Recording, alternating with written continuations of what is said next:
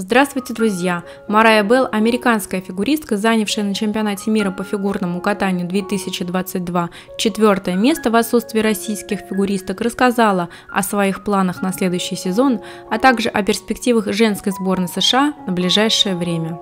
Марая рассказала, что на данный момент не приняла окончательного решения по поводу своей дальнейшей карьеры, однако отметила, что шансов на то, что она останется еще на 4 года, практически нет – но еще один сезон определенно возможен, особенно если не будет российских фигуристок, рассказала Белла в интервью Figure Skaters Online.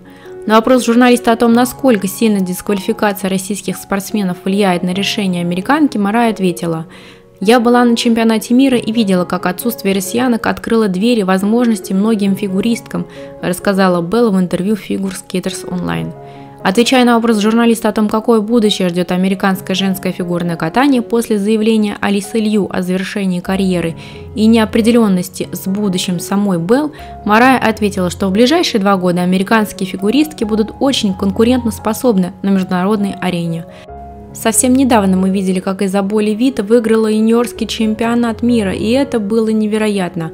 Мы не знаем, что будет с российскими спортсменами. И ответ на этот вопрос очень важен, рассказала Белла в интервью Figure Skaters Online. Со слов Белл, в нынешних условиях любая фигуристка из 6-7 лучших чемпионатов США будет успешна на международном уровне.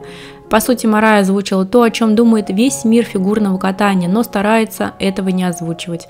Отстранение российских фигуристов – это единственная возможность для второго эшелона добиться каких-либо успехов. Ну а насчет сил американского женского фигурного катания Марая явно погорячилась. Да, Левита выиграла последний юниорский чемпионат мира, но куда важнее, сколько баллов она набрала – 205 – это, конечно, неплохой результат для нероссийской фигуристки, но и назвать его чем-то выдающимся нельзя. А если вспомнить, как Алиса Лью, которая в юниорах подавала огромные надежды, во взрослых резко сдала, то о перспективах Левита я бы загадывать не стала.